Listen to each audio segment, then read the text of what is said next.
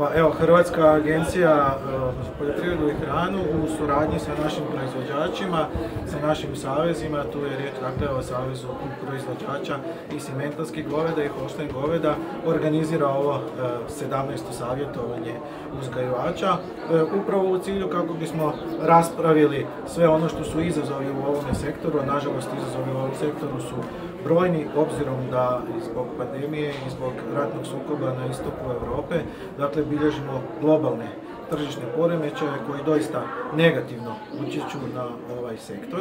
Dakle, te negativne utjecaje bilježimo još i od prošle 2021. godine, kada bilježimo pad e, broja krava za oko 3% u prosjeku kad govorimo o mliječnim i kombiniranim pasminama. Bilježimo, nažalost, e, broj, pad broja uzgajivača za oko 15%, ali isto tako bilježimo e, pad, odnosno povećanje proizvodnje po gospodarstvu za oko 13,5%.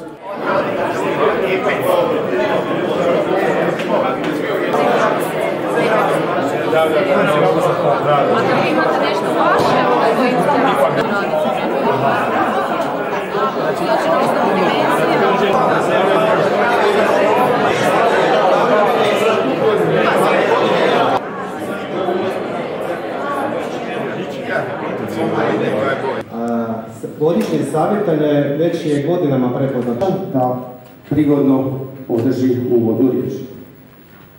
Uz provedbu uzgojnih programa, kako konvencionalnih, tako i naših omogućava analizu krmiva sa njihovih gospoda, Ministarstvo poljoprivrede u protekle dvije godine donijelo čitav niz interventnih programa putem kojih smo nastojali prevladavati probleme u stočarskoj proizvodnji.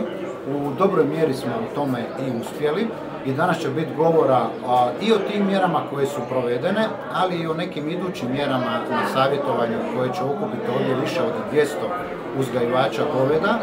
E, da ne nabrajam sve mjere, evo ja ću samo podsjetiti da smo u prosincu prošle godine e, iz jednog programa od 171 milijun kuna koji je bio odobren od Europske komisije, a plaća se iz državnog proračuna Republike Hrvatske, isplatili 140 milijuna kuna, a preostali dozvoljeni iznos e, ćemo isplatiti u vrlo skoro vrijeme. 15%. Ipak pozitivan pomak je porast isporučenih količina.